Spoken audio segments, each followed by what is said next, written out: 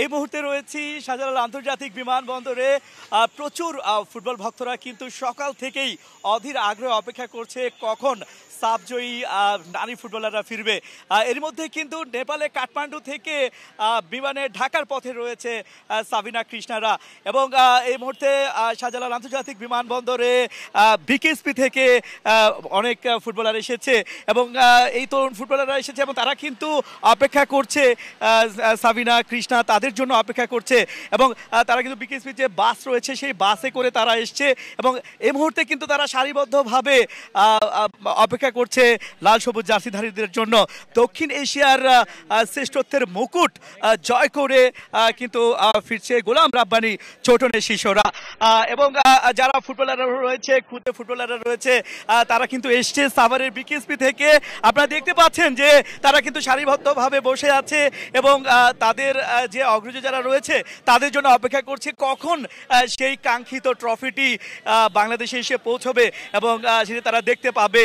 এবং আপনারা দেখতে পেয়েছেন কিন্তু বিমানবন্দরের পথে রয়েছে ছাতখোলা বাসটি এবং সেই বাসটিও কিন্তু দেখার জন্য এখানে যারা খুদে যারা ভক্ত রয়েছে, ফুটবলাররা রয়েছে, বিকেএসপির ফুটবলাররা, তারাও কিন্তু রয়েছে।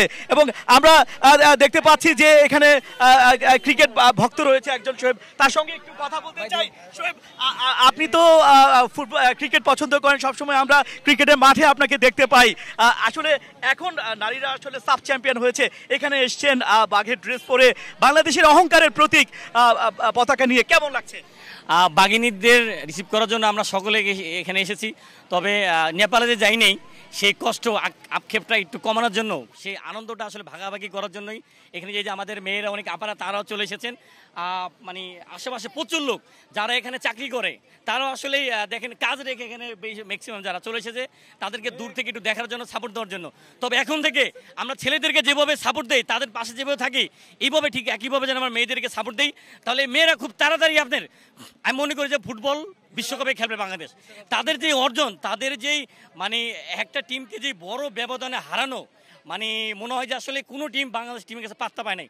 তা খুব তাড়াতাড়ি আমার মনে হয় যে ভাই হয়তো চেষ্টা করবে যে ফিফার সাথে কথা বলতে যে বড় বড় টিমের সাথে যেন খেলে। বা ফিফা তো মানা করতে পারবে না যে কেন খেলব। কারণ আমরা এখন এশিয়ার সেরা আমরা বড় বড় টিমকে হারিয়েছি।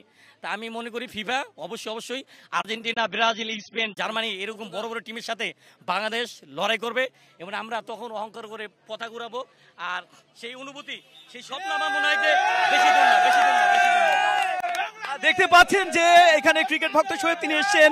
তিনি বাংলাদেশের অহংকারের প্রতীক লাল সবুজ পতাকা তিনি উড়াচ্ছেন। তিনি জার্সি পরে এসেছেন এবং বাংলাদেশের ভক্তদের তিনি ফুটবলারদেরকে তিনি অভিনন্দন জানিয়েছেন এবং প্রচুর দর্শকের সমাগম হয়েছে এবং যারা আইনশৃঙ্খলা বাহিনীর দায়িত্বে রয়েছেন তারাও কিন্তু দায়িত্ব পালন করছেন এবং কিছুক্ষণের মধ্যেই কিন্তু বাংলাদেশ বিমান যোগে সাবিনারে এসে পৌঁছবে ঢাকার আন্তর্জাতিক বিমানবন্দরে।